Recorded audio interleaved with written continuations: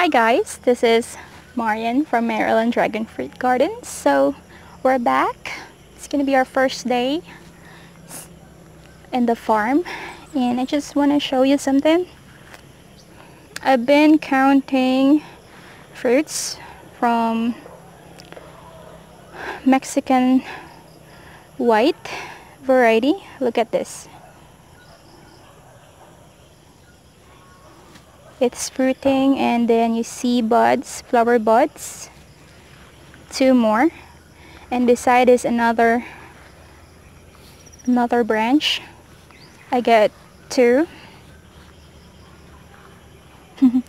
so hopefully this will get bigger few days or in a week or two. I'm crossing my fingers that it won't ripen yet which means it's gonna give its way to a bigger fruit. And we can expect that it's gonna be it's gonna have a bright pink skin when it ripens.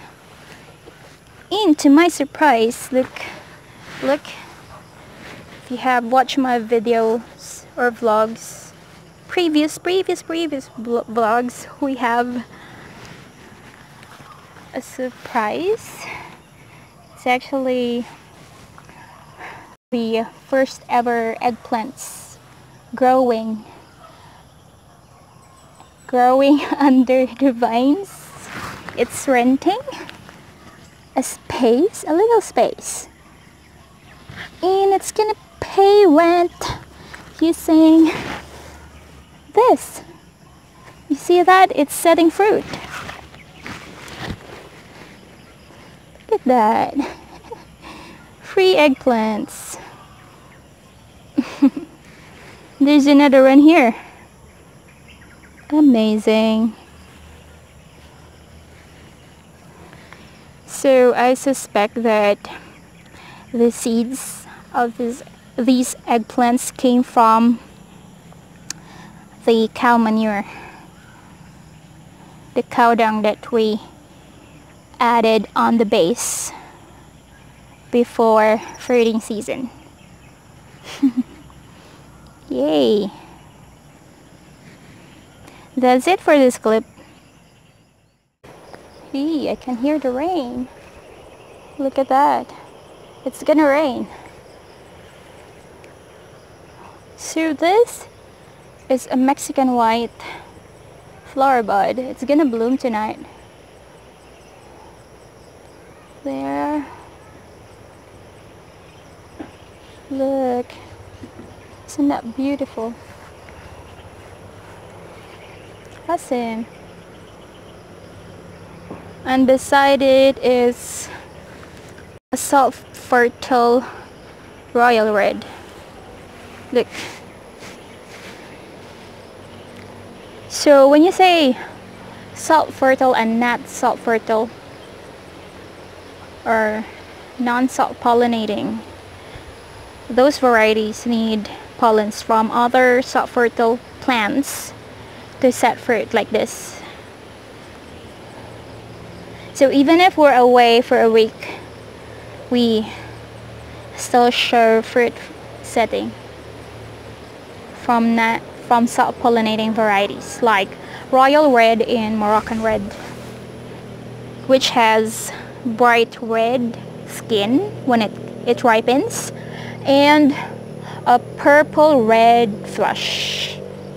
See this? This was blooming yesterday. So two to three days after it bloom, we can start removing this like usual. Look at this. There's another dried petals Alright, let me get it. Just using my hand and a little bit pressure will remove the dried petals. It's really useful when you remove that and it's raining because fungus can't live there when you remove that part dried part of the of the of the bloom. There's another one.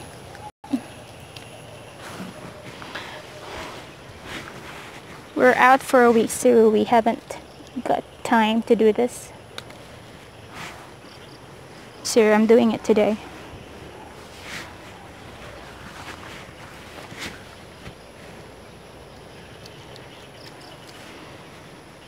And there's a lot of grass growing. Right. And I have here another well this is actually the same variety Mexican Mexican white so it just bloomed today I was expecting this is Hawaiian white let's see I'm gonna look for oh there you go this this is my Hawaiian white variety it's gonna be white inside with bright pink skin. Hopefully I can have a fruit, a ripe fruit and I'm gonna go harvesting myself. Yeah. And then we will have a fruit tasting vlog. and it would be nice if I also have another well a purple red a purple red variety in one plate. Yeah. This is Mexican no this is Hawaiian white